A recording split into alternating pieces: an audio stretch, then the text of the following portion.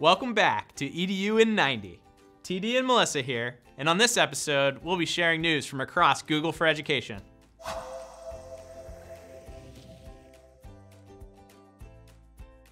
First up, we're excited to announce that Cast Moderator is now available. Cast Moderator supports wireless casting from managed Chromebooks and Chrome browsers to Chromecast with Google TV. For information on how to try it out today, check out the link below. If you're looking for ways to celebrate Safer Internet Day in February, our partners at ConnectSafely are offering grants to help teachers purchase supplies or resources for student programs. Applications are due on December 31st, so be sure to apply today by following the link in the video description. Finally, we'd like to invite you to explore the arts and culture of Ukraine through our new Ukraine is Here virtual exhibit.